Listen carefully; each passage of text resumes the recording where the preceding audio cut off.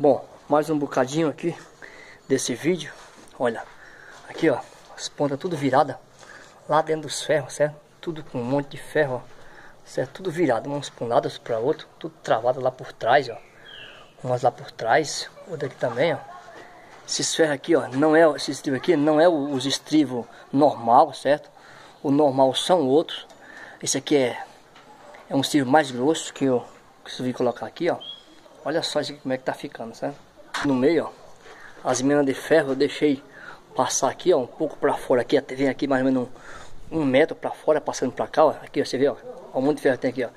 Isso aqui é ferro daqueles grossos.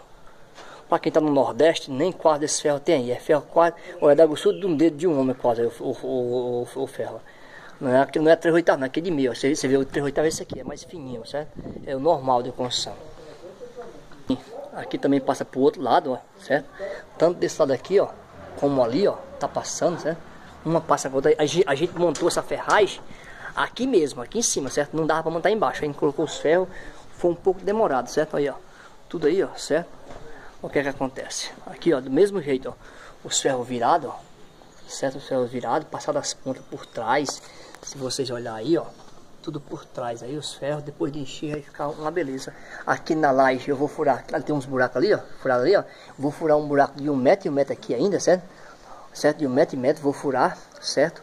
Para poder descer o concreto aqui, ó. Aqui, eu deixei aqui umas taubinhas aqui, ó. Do ferro para essa tábua aqui, ó. Para quê? Para o concreto entrar aqui de baixo, certo? E aqui em cima também, ó.